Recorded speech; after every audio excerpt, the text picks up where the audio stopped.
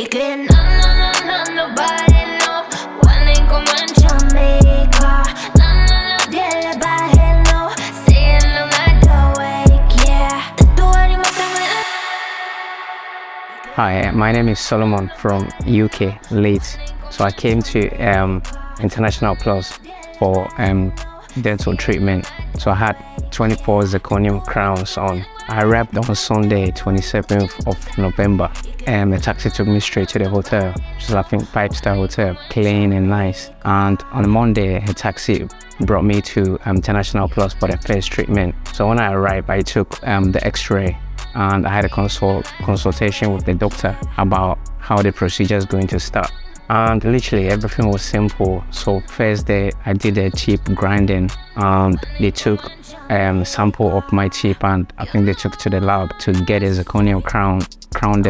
And on wednesday i came here to get it fitted. And the doctor there was so exceptional with his um, colleague. So they took me through the process and it was very smooth. I had anesthetic so i didn't really feel the pain and this is the new result. I mean, the aim for coming here to get a tip, I wasn't really happy about my teeth, but now I can genuinely tell that I'm a new man with a new smile. As you can see, I'm pleased with the result, and all the doctors, all the coordinators, they're very professional with the whole process, and I'm happy about the treatment. Thank you, International Plus, for this new smile.